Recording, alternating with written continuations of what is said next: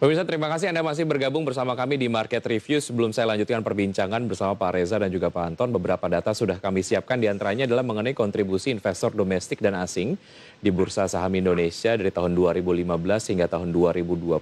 Siap persentase nampaknya dari tahun ke tahun ini persentase kontribusi investor domestik dibandingkan dengan investor asing uh, cukup uh, apa mendominasi lah ya untuk uh, kontribusi investor domestik.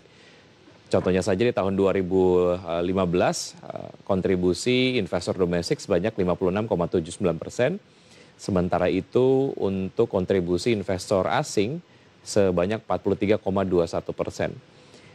Eh, kemudian kita lompat ke tahun 2020 kontribusi investor domestik sebanyak 62,59 persen. Sementara itu untuk asing trennya sama lebih rendah jika dibandingkan dengan kontribusi investor domestik yaitu tahun 2020 sebanyak 37,41 persen. Kami kompilasi datanya dari Otoritas Jasa Keuangan di tahun 2020 di bulan Agustus. Kemudian nilai total perdagangan saham di Indonesia dari tahun 2015 hingga 2020 angkanya cukup fluktuatif 1,4 triliun rupiah di tahun 2015. Kemudian tahun 2016 1,84 triliun rupiah, 1,8 triliun rupiah di 2017, Angkanya meningkat di 2018 di 2,04 triliun rupiah dan di 2019 2,23 triliun rupiah. Dan secara proyeksi uh, ataupun mungkin data yang terbaca hingga Agustus 2020 uh, eh, sebanyak 1,14 triliun rupiah.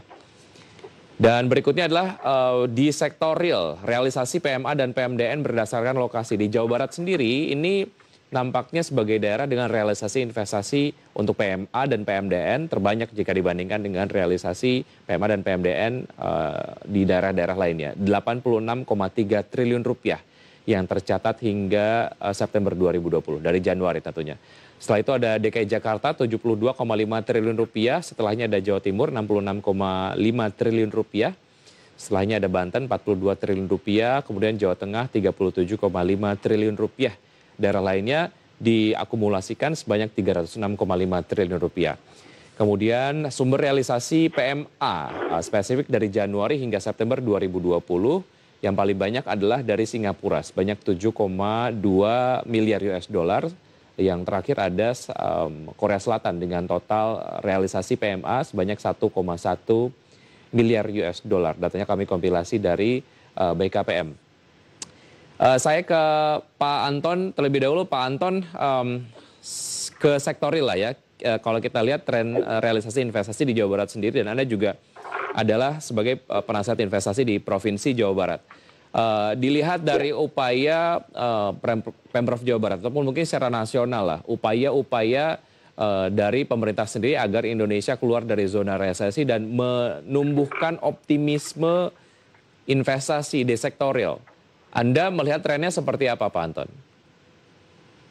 Kalau saya lihat pertama dari kalau kita bicara soal pemerintah terhadap investasi ya, ya. Uh, yang saya, saya analisa itu lebih dari uh, pastel ya, political, ekonomi, uh, sosiologi, sama uh, legal ya dan environment. Hmm. Kalau kita lihat dari kebijakan stimulusnya, bantuan langsung tunai, dana pen, relokasi anggaran dan refocusing ya, pusat dan daerah, kemudian relaksasi kredit, kemudian Undang-Undang Nomor 2 Tahun 2020 yang membolehkan pemerintah naikkan defisitnya di atas 3 persen dari PDB sampai 2022 itu adalah stimulus yang berhasil menurut saya berjalan. Hmm. karena bisa eh, apa membantu ya. Itu terbukti dengan eh, tadi performance kuartal 2 ke kuartal 3 apalagi nanti ke kuartal 4 hmm. di mana terjadi realisasi anggaran uh, pemerintah mulai digulirkan karena setelah apa uh, uh, paripurna ya semua. Jadi uh, upaya keluar dari zona resesi ini sudah dilakukan oleh pemerintah. Nah kita baru lihat sekarang ini tadi yang dibicarakan tentang investasi di daerah, hmm. contoh di Jabar ya 86,3 triliun. Itu bagus nggak? Kalau dari analisa pemantauan saya rata-rata daerah Jawa Barat itu kan banyak industri dan pabrik ya investasi yang masuk itu masih sifatnya working capital hmm. ya jadi belum uh, uh, expansion ya nah artinya masih ada PR untuk pemerintah provinsi Jawa Barat untuk meningkatkan apa memberikan kebijakan-kebijakan lanjutan memang pemerintah sudah menyiapkan kebijakan KPBU, ya, artinya kerjasama pemerintah dan badan usaha. Namun masih kompleks kan, makanya ada undang-undang cipta kerja yang kemudian juga didukung oleh OJK juga salah satunya adalah berbicara tentang apa sih supaya menarik Baik. yaitu tanpa mengandalkan kepada anggaran APBD yaitu obligasi daerah hmm. atau kita kan menarik untuk investasi. Kemudian ada lagi juga OJK mengeluarkan uh, regulasi 18 OJK nomor 4 tahun 2019 tentang perusahaan efek daerah. Nah ini kenapa penting? Kalau perusahaan efek daerah itu berdiri, dia bisa juga menggarap tadi yang saya bilang kesempatan dari saving ke investment. Hmm. Karena masa COVID ini kan uh, apa uh, saving ini tiba-tiba naik kan dua hmm. kali lipat menjadi 373 triliun nationwide. Ya. Kalau kita ada perusahaan efek daerah, kita bisa menggalang dana-dana tersebut Baik. di luar, ya kan, untuk dimanfaatkan ke investasi. Jadi potensinya masih lebih dari 83 triliun kalau untuk pemprov Jabar ya. Baik. Lebih kalau kita dengan kebijakan. Mm -hmm. Ya, saya ke uh, Pak Reza. Pak Reza, dilihat dari indikator-indikator uh, ekonomi yang ada di Indonesia, mana yang kemudian dapat dijadikan bantalan optimisme lah untuk investasi di pasar modal? Ya, uh, kalau kita lihat ya uh, dari dari neraca perdagangan kita sudah mulai surplus ya.